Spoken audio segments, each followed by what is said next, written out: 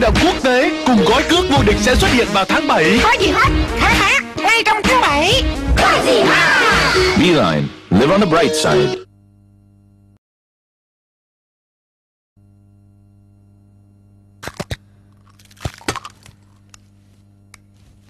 Có gì hết? Sẵn sàng nào các bạn